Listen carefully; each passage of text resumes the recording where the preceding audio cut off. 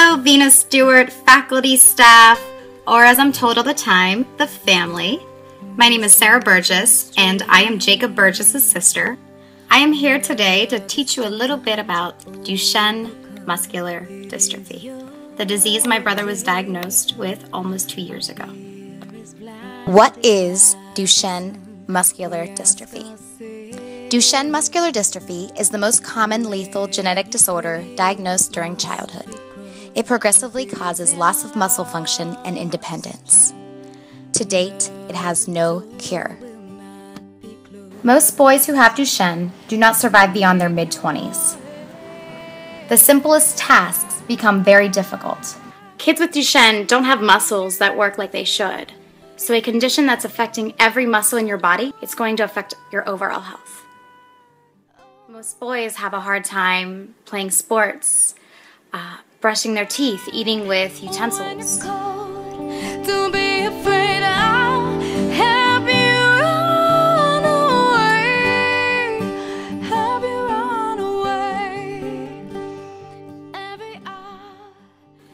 Jacob is just a regular boy that wants to do regular boy things. Jacob just has a much harder time. He isn't slow because he wants to be. His muscles don't allow him to move any faster.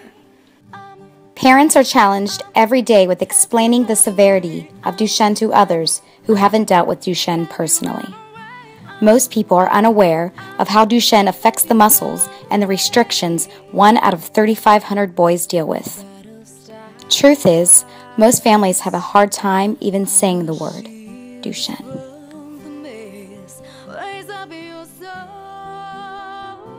My brother loves to play mini golf. Um, but he, even today he has a hard time holding the golf club. So in a couple of years it's going to be nearly impossible for him. My brother is only seven years old and already Duchenne has affected his life. He has a very hard time getting up from seated positions, from getting up from the floor, from walking long distances, and he cannot walk up any steps. He has a very, very difficult time. You can help us accomplish this by never let Jacob walk up or down steps, inclines, declines, or long distances. Inform staff and keep people aware of his condition, especially those involved with physical activities. Keep his peers informed. Peers are less likely to tease and more likely to defend when they are armed with the accurate knowledge about Duchenne.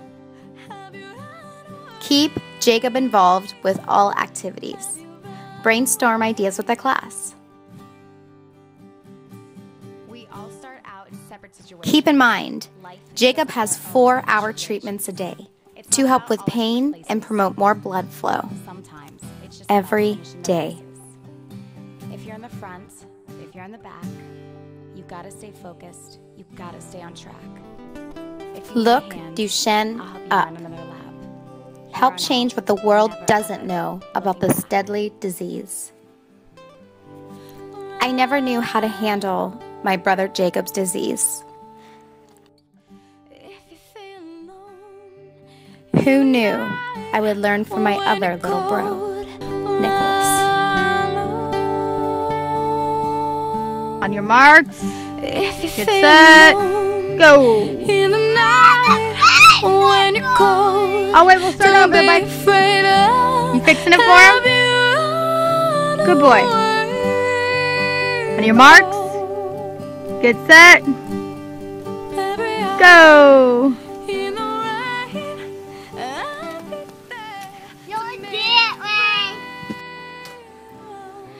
The problem we have in the Duchenne community right now is awareness.